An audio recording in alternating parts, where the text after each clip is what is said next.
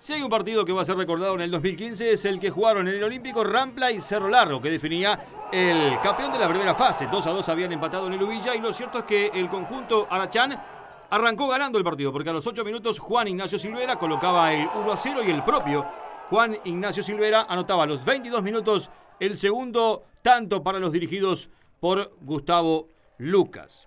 Pero iba a llegar el descuento, pica piedra. Corría el minuto 25 del primer tiempo y llega el 1-2.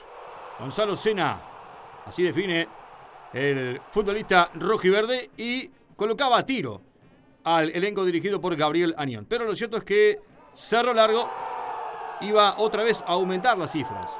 Jonathan Dos Santos a los 28 minutos colocaba el 3 a 1 y el 4 a 1 a los 36. Vean la ventaja que traía y que tenía el conjunto visitante.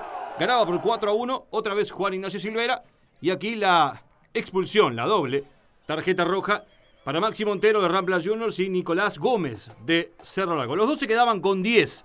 Cerro Largo ganaba por 4 goles contra 1, pero iba a llegar el aluvión, la reacción del Picapiedra, para quedarse con un enorme triunfo, con sabor a hazaña. Aquí está el 4 a 2. Adrián Leites a los 78.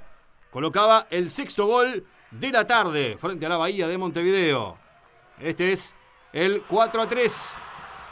Gonzalo Sena otra vez a los 80 minutos. Rampla estaba a un gol de forzar el alargue.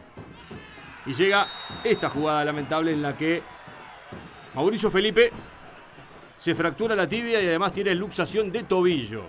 Esa es la imagen la lesión para el futbolista de Rampla, que ya no tenía más cambios y tuvo que jugar el resto del partido con nueve jugadores. Perdía por cuatro goles contra tres y llega a este centro. A la cabeza de Pablo Pereira a los 90 minutos.